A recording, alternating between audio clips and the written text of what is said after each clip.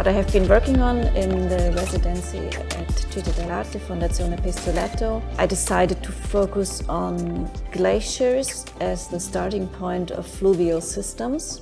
Glaciers hold a very big importance not only as storages of water, but also they are something like the Earth memory. So they hold information about the past climates, on pollution, radiation, but also organic material, waste products, bones, fossils, etc. And with climate change at hand, we all know that glaciers are already melting down and they will continue to do so.